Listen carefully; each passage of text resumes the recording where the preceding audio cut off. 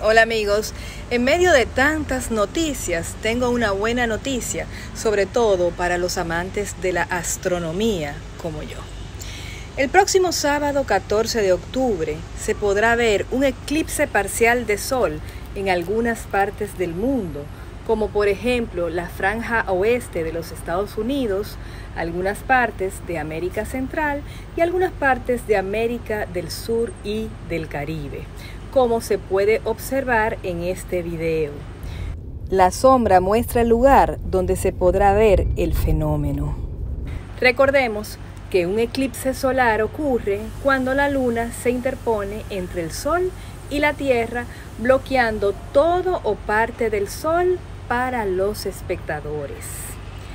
En la República Dominicana, específicamente en la ciudad de Santo Domingo, el eclipse se comenzará a ver a las 12 y 33 del mediodía, recuerden, de este sábado, y con minutos de diferencia en otras partes de la República Dominicana. La hora prevista para que la luna oculte la mayor parte del sol, que en la República Dominicana será un 60%, serán las 2 y 13 de la tarde.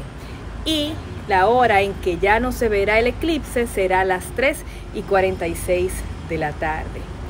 Miren amigos, hay algo muy pero muy importante que queremos que se divulgue. Y es que para disfrutar ese eclipse deben verlo de forma segura. Por favor, no miren al sol de manera directa, ni siquiera con lentes oscuros de sol, ni con radiografías, ni negativos, ni nada de eso. Solo deben verlo con equipos especializados en observar el sol o con un proyector tipo caja que podemos hacer en nuestros hogares y que es relativamente fácil de hacer. A tal efecto, yo los voy a remitir a la página llamada Universo en Expansión de nuestro querido amigo y compañero Miguel Acevedo, miembro fundador de la Sociedad Astronómica Dominicana. Por favor, por favor, háganos caso y divulguen esta información. No miren al sol de manera directa, aunque ustedes crean que no les está haciendo daño. Sí les hará daño si lo ven sin los equipos que requeridos a tal efecto. Que tengan un feliz día, amigos, y seguimos.